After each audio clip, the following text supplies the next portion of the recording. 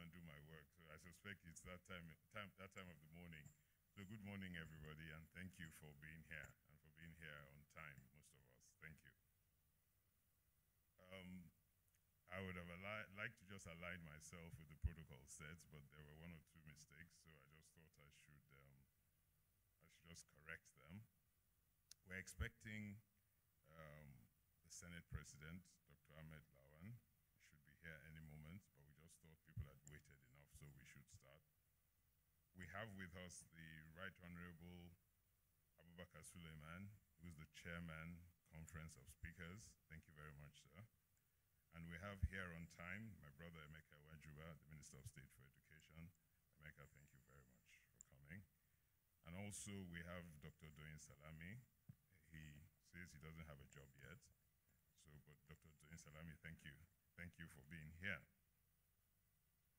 Other distinguished and honorable members of the National Assembly here present, honorable ministers who are on their way, and um, those who are here represented, um, members of our political parties who are here present, heads of ministries, departments and agencies of government, my colleagues on the board of the NESG, captains of industry, members of the international community, members of the academic community, members of the press, distinguished ladies and gentlemen. Again, good morning and thank you for being here. It gives me great pleasure to welcome you all to the launch of the 2022 Macroeconomic Outlook by the Nigerian Economic Summit Group.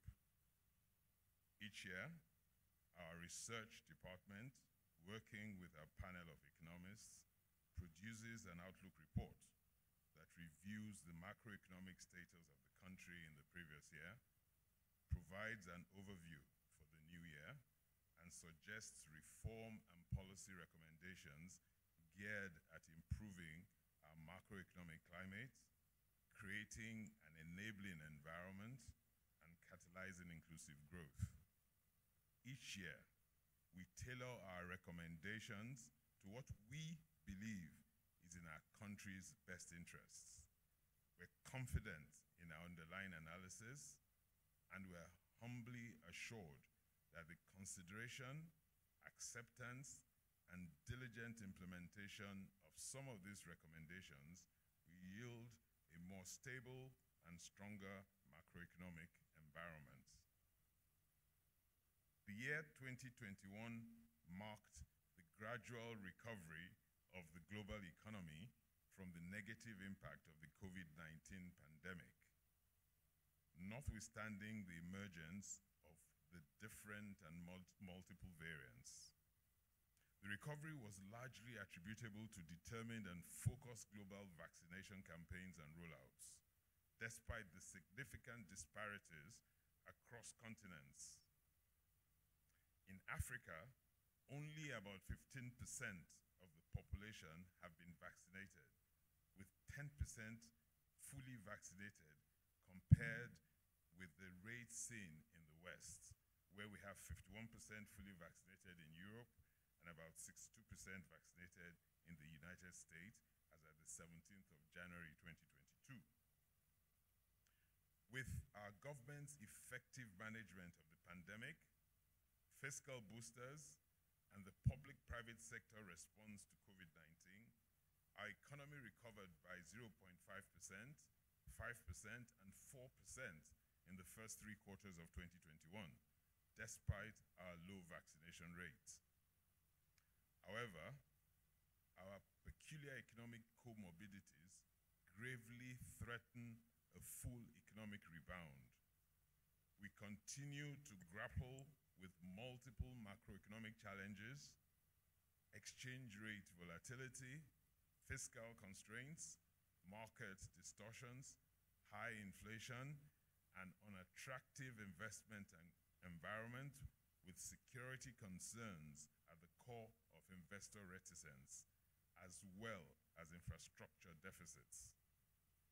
The abatement of these impediments must be addressed with a sense of urgency and the implementation of immediate economic reforms must be prioritized to promote higher productivity, achieve economic efficiency, and deepen inclusive development.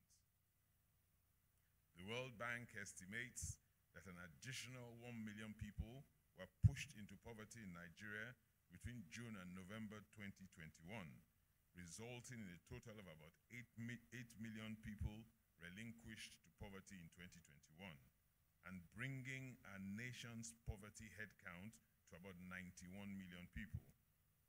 That is 91 million Nigerians afflicted by the poverty virus, which is every bit as deadly and more infectious than the SARS COVID 19, judging by the numbers.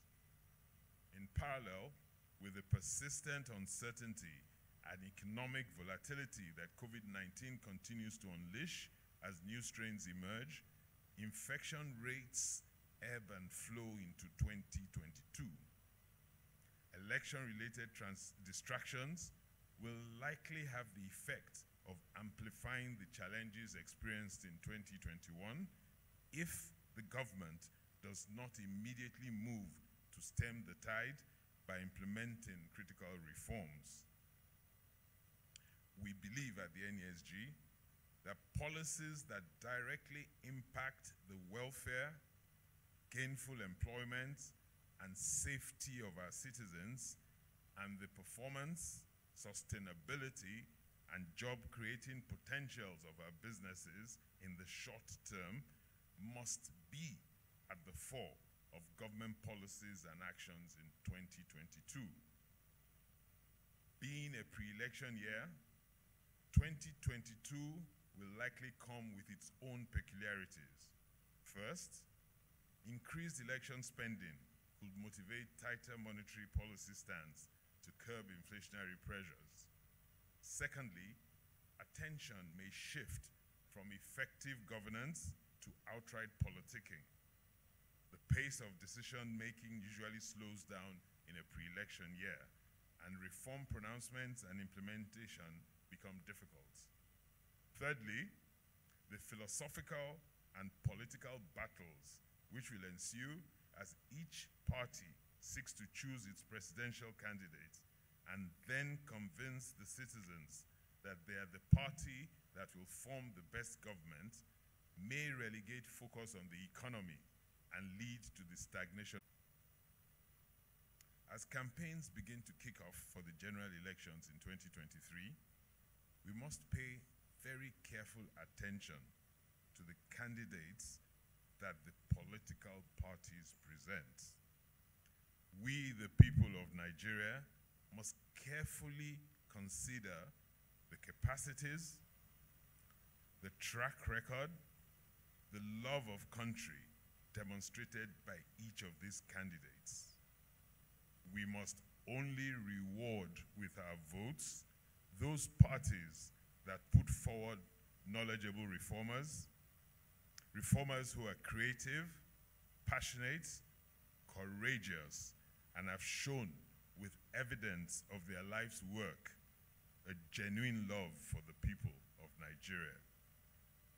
At this time in our country's trajectory, we cannot afford to be delinquent in this most basic civic responsibility.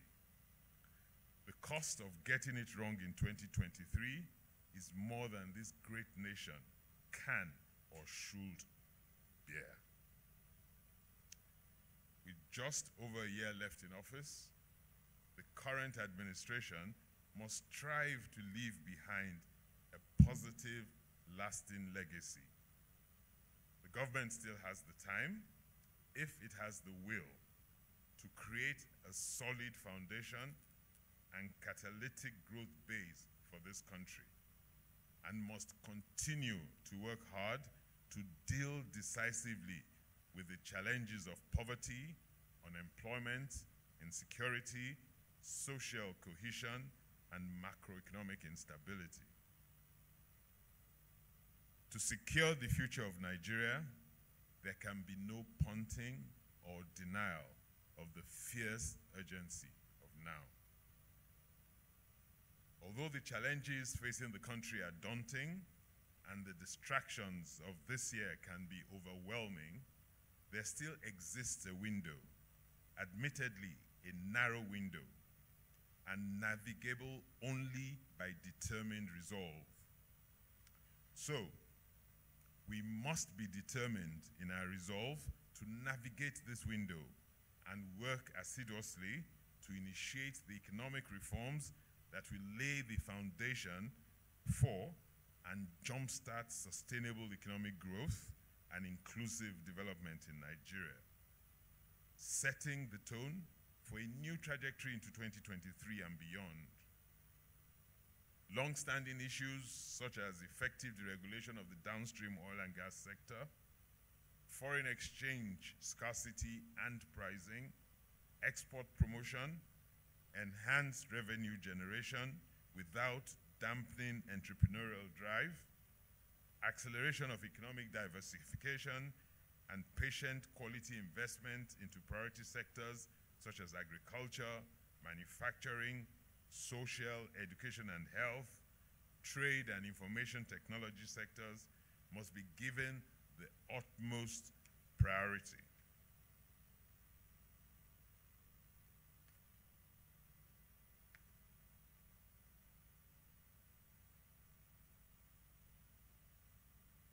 I think, Madam, that gave me this thing, Mr. Page. Must be given the utmost priority in 2022.